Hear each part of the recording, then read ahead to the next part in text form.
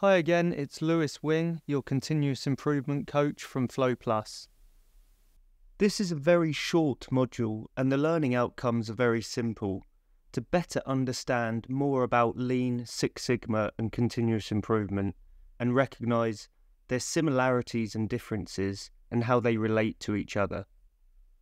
The best way to visualize how Lean, continuous improvement, and Six Sigma are related is viewing lean as the destination that you are aiming for. It's a state of perfect effectiveness and perfect efficiency that maximizes customer value, has zero waste, and involves everyone in the company in improvements. It is a destination that always changes and never stands still, and one that in practice is impossible to reach. But regardless, it should be the destination that we're aiming towards if we forget everything we know about lean and improvement and take a moment to think what lean means if you ask someone on the street, people will think of an athlete with a lean physique, someone that has a low body fat percentage, is strong and optimized for their discipline, whether that's an Olympic runner, kickboxer, or a mountaineer. Lean is about removing fat and replacing it with muscle and endurance and that is a good way of thinking of lean. A lean state is the destination we're trying to achieve, and everyone's journey is unique based on where they currently are on the scale and what their destination looks like. Continuous improvement is one effective approach and philosophy that can help you get there to this lean state. Often people prioritize big step change improvements so, in this analogy, someone might go on a crash diet, hire a personal trainer, and start training seven days a week. The downside of that is that these people will soon burn out and the improvements won't be sustained. Some of you may be members of a gym and noticed a large number of new joiners that join every year. People set unrealistic New Year's resolutions and prioritise this sprint like approach. A study found that on average, people throw in the towel and quit on what is known as Quitter's Day, the 17th of January. The continuous improvement approach shows that if you make sustained, small, incremental improvements and perhaps go to the gym three times per week, embedding the habit into your weekly routine, it's got much more chance of being sustained. Continuous improvement is a great low cost and relatively low effort way to achieve your goals. And I'll give you some great examples of real companies that have used this approach in the coming modules. So, how does Six Sigma fit into all this? Six Sigma is another approach and it prioritizes reducing process variation and focusing on the quality of a process.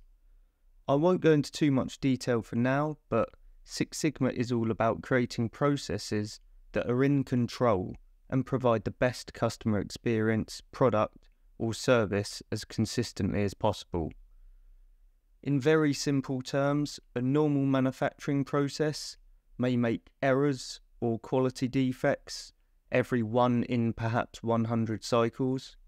A Six Sigma process will make one error in every 300,000 cycles, which is the equivalent of 3.4 defects per million opportunities.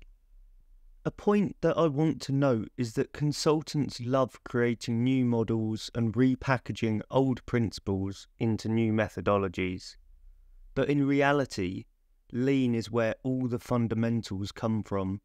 And in my opinion, if you develop a lean mindset, the rest is very easy and logical to pick up.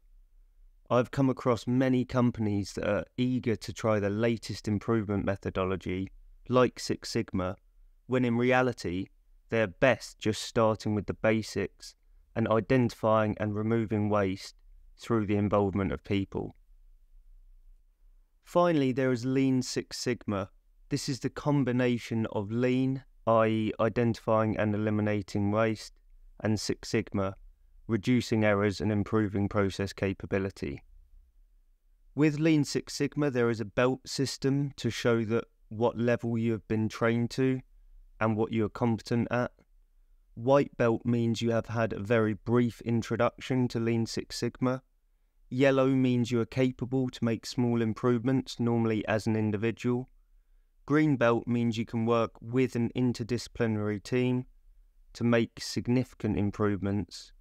Then finally, black belt and master black belt, which essentially means you're an expert in Lean Six Sigma.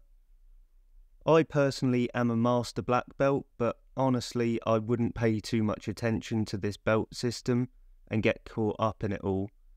The quality of the training really depends on the provider, and I know there are some Lean Six Sigma black belt courses online that you could complete in one day and become certified.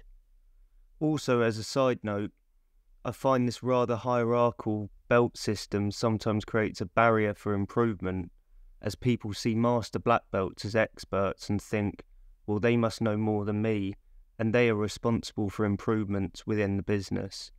When in reality, continuous improvement teaches us that we need to try and invert the organisational triangle, and we want everyone to improve everywhere, every day. So, personally, I try and refrain from using the Japanese words and giving myself a title that may create a barrier whenever I can. So, to summarise, lean can be seen as a destination of 100% value add and 0% waste within your operations, operating perfectly effectively and perfectly efficiently. This is the aim of every organisation and the destination we're trying to get to. To get there, you can apply multiple different strategies. Continuous improvement prioritises consistent low cost, small improvements. Six Sigma prioritizes process quality and reducing process variation.